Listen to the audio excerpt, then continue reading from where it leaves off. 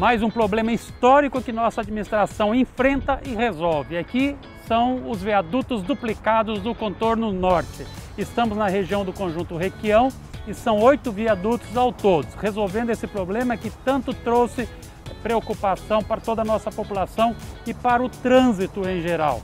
A empresa já faz toda a infraestrutura de pré-moldado fora das obras e só traz então para fazer a montagem. Estamos num processo rápido e em breve Maringá terá então os seus viadutos do contorno norte totalmente duplicados.